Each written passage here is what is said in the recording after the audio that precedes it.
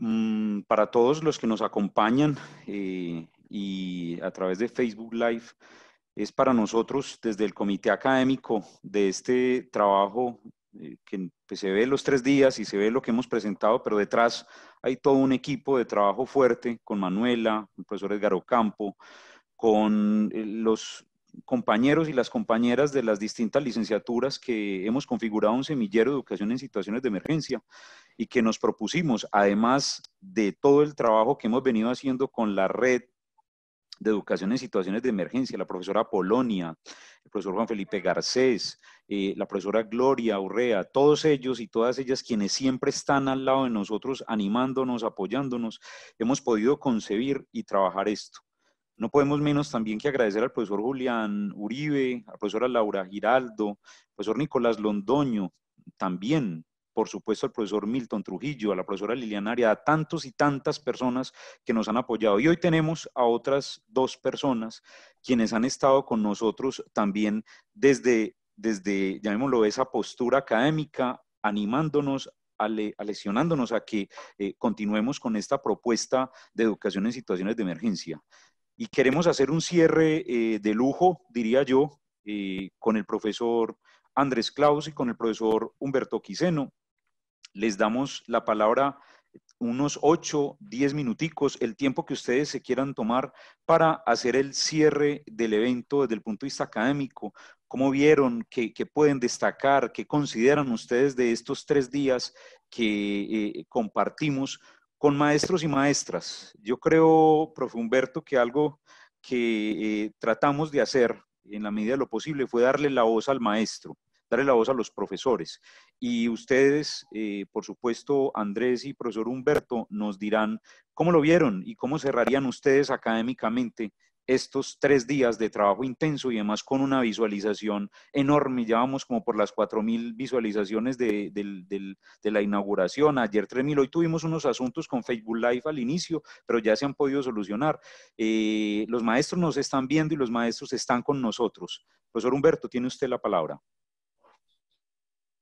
Eh, muy buenas tardes ya a todos los que nos escuchan y nos ven, al comité académico del primer encuentro internacional, muy especialmente a Edison, que se ha cargado sobre sus hombros esta responsabilidad tan importante y que yo creo que va a pasar a la historia, indudablemente va a pasar a la historia. Un saludo muy especial a Andrés Claus, amigo mío. Eh, quiero eh, brevemente no un balance, sino lo que yo llamaría, eh, y que es muy importante para este encuentro, destacar qué fue lo novedoso, dónde está la novedad de este encuentro, qué fue lo que transformó, lo que cambió y lo que vemos en el horizonte. Creo que desde aquí vamos a ver unas perspectivas que hay que seguir pensando y quiero señalar eh, cinco o seis aspectos que me parecen fundamentales. Un primero, que es precisamente eh, lo que se ha definido como el encuentro. Eh, hemos tenido en nuestra tradición educativa, pedagógica, muchos encuentros, encuentros de toda clase. Los estados han promovido encuentros y las regiones han promovido encuentros, pero este es un encuentro muy especial, porque es un encuentro yo diría, de todos y todas. Un encuentro de multiplicidades. Se han encontrado por encima de los países, por encima de las regiones, por encima de las instituciones, se han encontrado las voces de los maestros y maestras y en general de investigadores y expertos. Eso es muy importante destacar. O sea, eh, no es la primera vez, pero se apunta a ser una novedad muy importante que haya unos encuentros post eh, post estructuras, post configuraciones clásicas. Este es un encuentro novedoso y que me parece va a ser muy importante y va a perfilar en el futuro encuentros similares. Bien, y si este es el primer aspecto, el segundo tiene que ver en, una relación con el, el encuentro. Y es que en el encuentro, este encuentro internacional, hubo una mezcla de investigadores, expertos, maestras y maestras y, otras voces eh, que están allí redondeando la figura del maestro. Eso quiere decir una cosa muy importante, es que en el encuentro, eh, a partir de esta circunstancia de la pandemia, hemos pensado, hemos posibilitado, y el encuentro, y este seminario internacional lo hace, de que todos estén en un mismo nivel. O sea, tanto el experto internacional europeo como el experto, el investigador latinoamericano, como el investigador colombiano, el investigador de Chile, la maestra de Chile, la maestra de, muchos países, todos hablaron, todos pensaron, todos eh, analizaron sus cosas. Y nadie pensó que uno es más que otro. Yo diría que eso es una cosa muy importante. En, en, términos de saberes, todos son los saberes de una multiplicidad que no tiene una identidad particular. Eso me pareció una cosa extraordinaria, el que eh, eh, no distingamos entre el que es gran experto, el gran investigador, la maestra que apenas empieza, el maestro que apenas se, atreve a, lanzar sus voces. Eso me parece una cosa muy importante. El, poder desconfigurar esas figuras clásicas del experto, del investigador y, y los que ya saben. En torno a esas dos eh, primeras aperturas, diría yo una cosa eh, que me parece interesante. Hoy el tema era la evaluación, era el tema de la didáctica, hoy es el, tema de las mediciones, en fin. ¿Qué mostró? ¿Qué mostró esto? Mostró que, que eh, y el currículo, y era el tema del currículo, ¿qué nos mostró? Nos mostró que en el, pasado eran las, las, la ciencia, las grandes teorías, las que nos planteaban los conceptos curriculares, evaluativos, los que nos, pensaban las políticas. Este encuentro muestra que no es la ciencia, no son grandes discursos, los grandes relatos lo que nos van a mostrar porque los maestros y maestras mostraron que lo pueden pensar perfectamente y o sea que también hay una valorización, una transformación, una reconfiguración de la ciencia, de los discursos de la cientificidad, porque siempre nos han dicho los discursos de la cientificidad, esto es lo que es el currículo, esto es lo que es la evaluación, esto de esa, de esa manera que vamos a, a pensar la educación y la pedagogía. Yo creo que el encuentro mostró otra cosa encuentro mostró otra cosa que, que, la ciencia no, eh, la ciencia tiene que eh, romperse, abrirse, cambiarse, modificarse. Una crítica, una crítica velada a la ciencia, una crítica implícita a la ciencia, una crítica implícita a, los discursos universales. Y eso es muy importante. Y eso quiere decir con, esta, con, con, con un cuarto punto, y es, se abrieron nuevas superficies y nuevos actores aparecieron. En términos del saber, ¿Quién sabe? ¿Cómo lo puede saber? ¿Hasta dónde puede saber? Aparecieron nuevas superficies. La superficie escolar, la superficie de la ciudad, la superficie de, las zonas rurales, la superficie anónimas, aparecieron nuevos actores, aparecieron nuevos maestros y maestras de muchas partes, de muchas experiencias que se, que se dirigieron en portadores de un saber. Eso me parece muy importante, la aparición de nuevas superficies. Eso quiere decir una cosa muy importante, y es esto. Eh, eh, sintetizo estos cuatro puntos en lo siguiente. Eh, el, pensamiento actual de la sociedad es un pensamiento global. Nos han globalizado, hemos informado el pensamiento y hemos pensado a través de lo global. Este encuentro mostró la importancia de lo local. O sea, este encuentro es local, es internacional, pero con la configuración local. ¿Qué quiere decir local? Local quiere decir, tú hablas de tus problemas, tú hablas de tus dificultades, tú hablas de tus hallazgos, tú hablas de, lo que sientes, de lo que piensas. Tú no hablas a, nivel universal, tú no vas a dar una cátedra universal, tú no vas a dar un discurso para los demás, no, tú hablas de tu experiencia. Y en ese sentido, los dos conceptos fundamentales del encuentro, que fueron experiencia y formación, precisamente nos muestran dos cosas. Uno, estamos arribando a un concepto nuevo de experiencia, estamos construyendo un nuevo concepto de formación.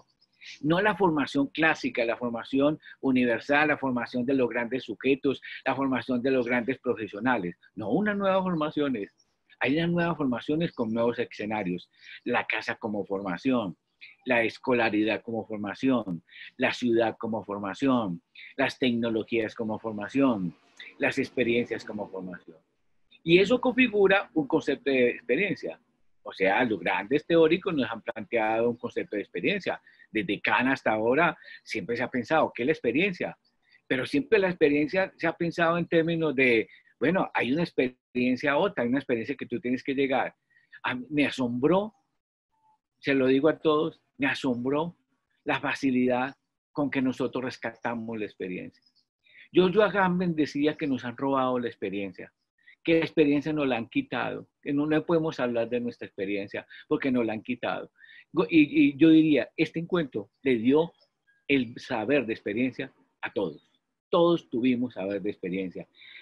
Eh, oímos a todas las experiencias como si fueran nuestras, como si fueran las mismas nuestras, como si no fueran como que el que hablara de su experiencia fuera uno mismo que estuviera hablando. Yo me sentía hablando por todos y todos hablando por mí. Eso me parece una cosa muy importante y que, y que le diríamos a Giorgio Agame, Giorgio, eh, la experiencia la recuperamos. Hemos recuperado la experiencia, hemos recuperado el valor de la experiencia, el valor de decir, el valor de la palabra, el valor del lenguaje, el valor de nuestros conocimientos, el valor de nuestro saber. Lo hemos recuperado. Eso es muy importante. Y hoy esa recuperación de la experiencia que nos lleva, nos lleva a un nuevo concepto de formación. Yo creo que estamos arribando a un nuevo concepto de formación.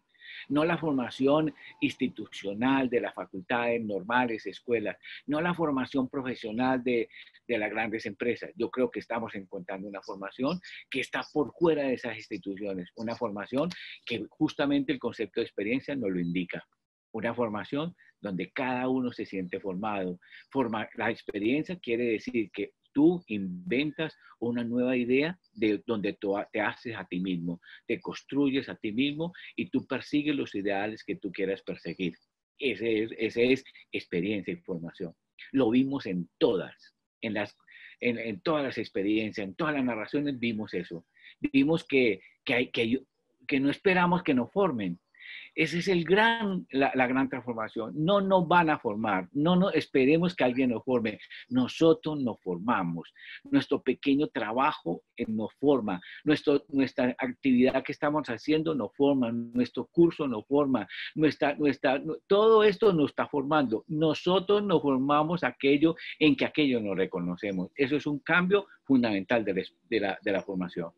Y tiene que ser ligado también a, un, asunto muy importante que apareció en este encuentro, el, el, concepto de eh, narración, de narratividad. Me parece que encontramos un lugar de la narración y la narratividad, que Andrés sabe muy bien de eso porque lo ha trabajado mucho en Medellín y que seguramente se va a referir a eso, pero a mí me parece que la narratividad de la, son experiencias y narraciones, pero las experiencias y narraciones vieron la, figura de la narratividad, eh, del relato. Encontramos el relato como una nueva forma de reconocer, de conocer, una forma de experimentar, de pensar el, relato como pensamiento. Esa es una de las cosas eh, que, debemos rescatar y mantener. O sea, no perdamos la capacidad de relato, no perdamos la capacidad de decirnos lo que está pasando. Eh, la pandemia tiene que ser relatada, tiene que ser relatada. Yo le pondría este nombre justamente al nombre de este primer encuentro internacional, el gran relato de la pandemia, hecho por nosotros, hecho por los actores, hecho por los que están allí, un relato de la pandemia. Porque mira, eh, la prensa hace relatos de la pandemia, eh, la televisión hace relatos de la pandemia, los grandes expertos hacen relatos de la pandemia. Oye, nosotros hicimos otro relato, hay otro relato. Ese no es el relato, el del relato de la prensa no es el relato, el relato adentro de, todo lo que pasa en la pandemia. Lo mismo lo de la televisión y los medios, no es el relato que nosotros encontramos. Aquí encontramos un relato muy distinto, una forma de relatar muy diferente. Cambiaron las expresiones, cambiaron las formas, cambiaron los contenidos, cambiaron a qué nos dirigíamos. Un relato de mucha sensación, un relato de mucha experiencia, un relato muy sensitivo, un relato de gran capacidad de invención. Yo, a mí me parece muy feliz porque encontré eh, también que nosotros pensamos en los relatos, encontré que el relato está vivo y que el relato tiene que ser una salida muy importante para, para poder pensar nuestros, nuestros, nuestros problemas, nuestras dificultades.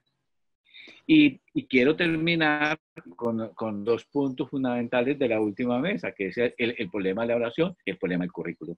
Encontramos a través de todo eso precisamente directrices muy claras sobre el currículo de la evaluación. Y las directrices son estas. Los maestros hacen el currículo y hacen la evaluación. Los niños hacen el currículo y hacen la evaluación. Por Dios, ¿por qué no le preguntamos a los niños si, eh, si salen del confinamiento o no salen del confinamiento? ¿Por qué no le preguntamos a los niños cómo deben ser evaluados? ¿Por qué no le preguntamos a los maestros eh, cuál es la experiencia de evaluación que ellos se idearían, cómo pensarían? Todo lo que eh, hemos encontrado, Edison también lo plantea, el problema del sujeto, pero más que el problema del sujeto, es el problema de, de que es los niños, los jóvenes, las niñas, las mujeres, los hombres, los que tenemos que plantear el problema de la evaluación. ¿Cómo que la evaluación? La evaluación que siempre ha sido de grandes expertos, nos han dicho los grandes sistemas de evaluación. Hoy estamos a las puertas de descubrir y de poder rescatar que la evaluación es nuestra nosotros podemos decir qué nos gusta y qué no nos gusta y cómo quieren, y nosotros somos responsables. Lo que dice Tonucci de los niños, los niños son responsables de, de sus actos. Tiene 3, 4, 5 años, es responsable. ¿Por qué no? ¿Y por qué no? ¿Y por qué no es responsable de sus actos? y porque no puede decir qué es lo que quiere, qué es lo que y cómo se mide, cómo y cómo se relaciona con los demás. Esas son formas de evaluación completamente sensitivas, eh, con formas de evaluación corporales, con formas de evaluación estéticas. Yo creo que tenemos que llegar a eso. Muchas experiencias nos han mostrado la importancia de la evaluación, eh, como se han desligado de la evaluaciones técnicas, tecnocráticas, a unas evaluaciones corporales, a evaluaciones de los sujetos, éticas, estéticas. Y me parece que el currículo también va por allí. O sea, por fin vamos a tener algunas posibilidades de pensar una nueva, una, forma, nueva forma de establecer nuestros currículos escolares. O sea, inventarnos nuevas formas, nuevas, hay una reorganización de los saberes curriculares, eh, combinar el currículo con las experiencias, las experiencias con, con las crisis. ¿Qué nos mostró este encuentro? La crisis es muy importante para pensar las estructuras curriculares. O sea, la crisis no es una, un, un elemento externo, la crisis es un elemento interno.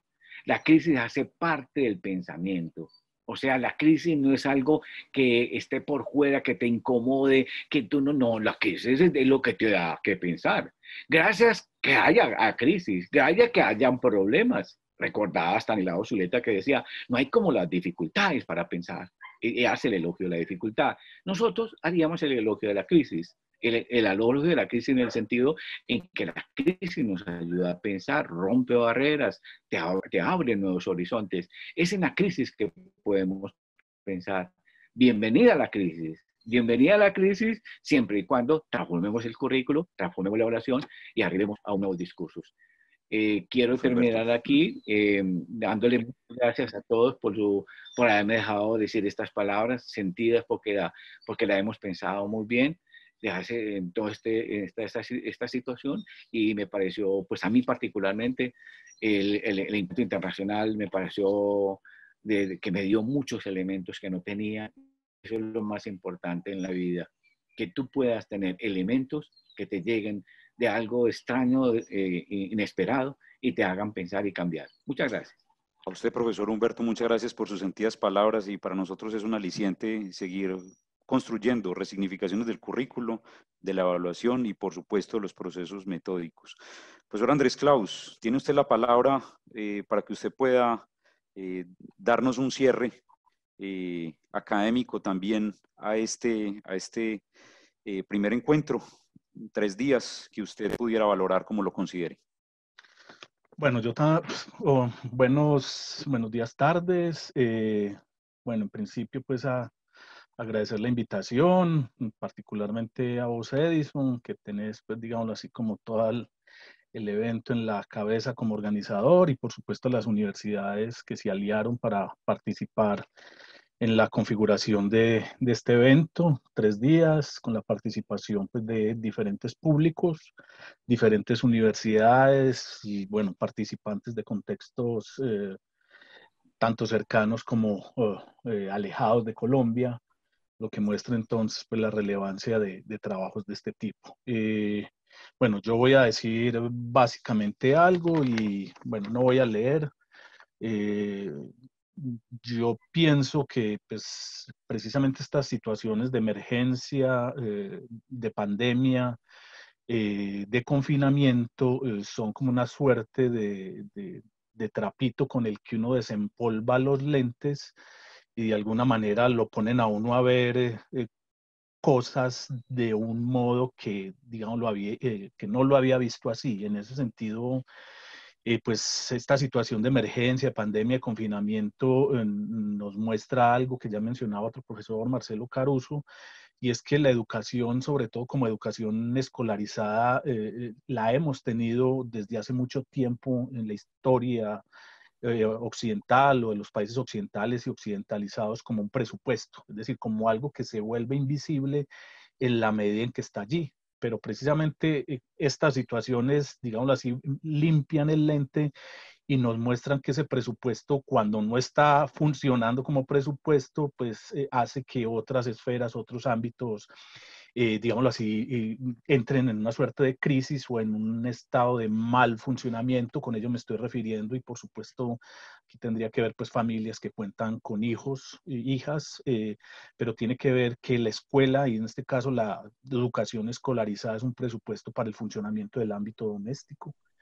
Eh, lo que estamos viviendo ahora es que cocinar, limpiar eh, las relaciones entre las personas que conforman el espacio doméstico, los rituales domésticos, pues entran en una suerte de tensión, de crisis, eh, porque la escuela, entre comillas, se desplaza al hogar y estamos viendo que todas esas cosas pues no funcionan al, al unísono, al mismo tiempo, y eso crea estrés, crea eh, ansiedades. Eh, conclusión, el ámbito doméstico se viene viendo fuertemente afectado por el no funcionamiento de la escuela, es decir, el presupuesto de una escuela funcionando para bien o para mal es condición del funcionamiento del ámbito doméstico y por supuesto también es una condición de funcionamiento para el ámbito laboral y económico. Entonces, eh, sin escuelas no se podrían, como dicen los prisioneros, mover las industrias, ¿cierto?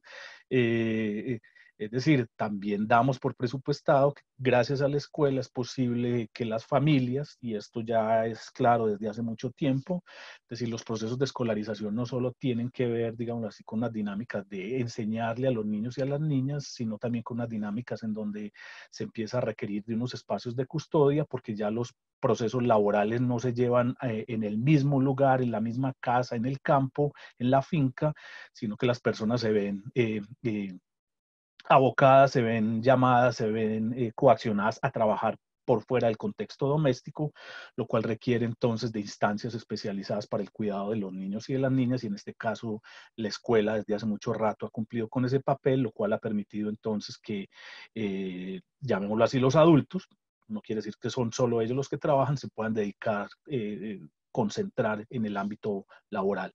Por supuesto, también pone en crisis eh, todo lo que tiene que ver con la política educativa, es decir, nos estamos dando cuenta que no sabemos qué hacer, de que los gobiernos eh, están eh, atrancados, que están creando formatos cada rato para ver cómo hacen para, para que más o menos esta situación se asemeje a las dinámicas de una escuela normal. Y en ese sentido, entonces, todo esto nos muestra, la situación de pandemia, confinamiento, nos muestra que la escuela, pues no es solo un espacio de transmisión de conocimientos, eh, que además ya está cuestionado pues, desde hace rato, desde ciertos discursos, eh, particularmente de un autor Luhmann, que ya desde los años 80, eh, si no antes, hablaba del déficit tecnológico de la educación, planteando precisamente que la relación entre un maestro y un alumno es intransparente, o sea, usted puede que lo que esté diciendo en un momento X eh, no necesariamente esté siendo recepcionado de la misma forma por un receptor Y, lo cual quiere decir que hay intransparencia, es decir, lo que menos ocurre con claridad en la escuela y particularmente en las situaciones de enseñanza es un proceso de enseñanza, transmisión y asimilación tal cual del conocimiento eh, según se transmite y que hay otras funciones a las que no les hemos prestado mucha atención, precisamente la función de custodia de la escuela, en el sentido positivo o negativo, es decir, como gobierno de las poblaciones o como gobierno de los cuerpos, pero básicamente la escuela empieza, eh, cumple con ese papel. Eh, por supuesto que hay otros fundamentales que tienen que ver con los procesos de enculturación, ¿sí? Eh, con los procesos de socialización. La escuela es un espacio para estar juntos, para establecer relaciones, para conocer amigos, para pelear con los otros, para correr, para pensar en otras cosas que no sean solo los contenidos escolares y por supuesto que es importante la función de cualificación en el sentido pues, de, del aprendizaje, ciertos conocimientos, de, eh, meterse con ciertas temáticas. No obstante, esto también está revelando precisamente que hay es una obsesión de parte de la política y de ciertas directivas es con los contenidos y con contenidos curriculares, digámoslo así, que tienen que ver con el currículo prescrito. Eh, es decir, hay una obsesión como cómo vamos a hacer para despachar el currículo cuando estamos en esta condición, ¿cierto? Eh, y hay propuestas de evaluar, pero a evaluar en la lógica tradicional de cómo cerciorarse de que esos contenidos se están transmitiendo.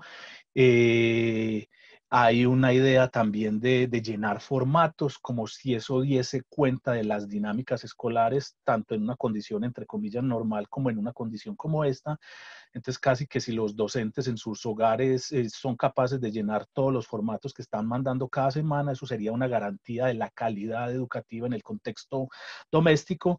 Entonces, yo creo que está, hay una obsesión por ese lado que hay que cuestionar, ¿cierto? Es decir, el, problema ahora no es el problema de cómo se despachan los contenidos, sino de cómo se repiensa una educación en un contexto doméstico que efectivamente, eh, por ejemplo, piense en la cotidianidad, ¿cierto? Que piense cómo utilizar los recursos de la cotidianidad familiar para precisamente trabajar esos contenidos. Y otro punto sobre el que quiero llamar la atención es que también presuponemos que bajo estas condiciones eh, de virtualidad existe algo así como una familia y una familia que estamos presuponiendo como pedagogos, pedagogas, políticos, educativos, académicos, universitarios, una, una familia hasta cierto punto idealizada y romántica, porque presuponemos que bajo estas condiciones los docentes simplemente preparan su clase y que la familia eh, es una familia que quiere, que la familia es una familia que puede. Que la familia eh, está en condiciones de disponer y organizar, ¿sí? que la familia tiene las condiciones materiales para entrar en este proceso de ayuda y acompañamiento. Cosas también básicas, que la familia o los miembros de la familia saben leer, que tiene una comprensión lectora o escritura y que lo estamos viendo y no es un problema solo de la ruralidad. O sea, yo lo estoy padeciendo y viviendo de acá cerquita porque mi esposa trabaja en el contexto de la educación infantil y el primer gran choque es que muchos de los padres no saben leer y escribir. Entonces, las propuestas para acompañamiento a los niños y niñas se quedan ahí porque estos padres dicen, no solo no sé leer ni escribir, tengo que trabajar. Eh, son familias en donde no es la familia, hay niños que rotan donde la abuela, la bisabuela, la tía, el papá, la mamá. Eh, bueno, eh, a ellos se les suma, digámoslo así, eh, eh, el presupuesto que la familia dispone de tecnologías y que tiene unas competencias tecnológicas, también lo estamos viendo, eh, no saben manejar un WhatsApp, eh, les cuesta cargar un link para ver un video. Eh, entonces, todos esos elementos los estamos presuponiendo en la familia y creemos que simplemente es mandar unas directrices y que la cosa va a funcionar muy bien. es más, que hay la posibilidad de lo que ciertos autores denominan como desarrollar una economía o gobierno de la atención. Ya les dije ahorita, yo soy uno de los que pelea con la idea del multitasking, pero si vos le estás ayudando a tus hijos o a tus hijas a hacer la tarea, muy seguramente dejas de cocinar o dejas de limpiar la casa y al revés.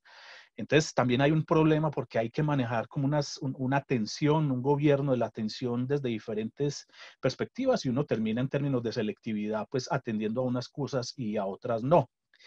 Eh, en ese sentido entonces pues eh, eh, yo diría a partir de todo este preámbulo, eh, más teórico, por supuesto, eh, que la situación actual y un evento como el que se acaba de realizar, pues nos muestra, por otro lado, que a pesar de todos estos elementos, pues los docentes están haciendo, ¿cierto?